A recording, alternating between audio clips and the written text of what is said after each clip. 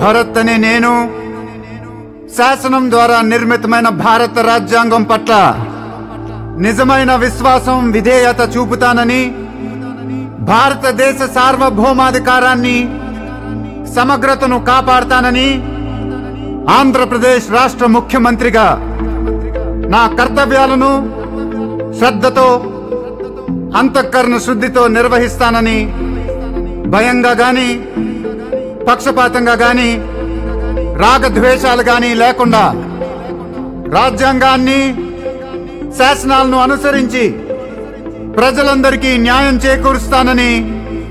దైవ సాక్షిగా ప్రమాణం చేస్తున్నాను.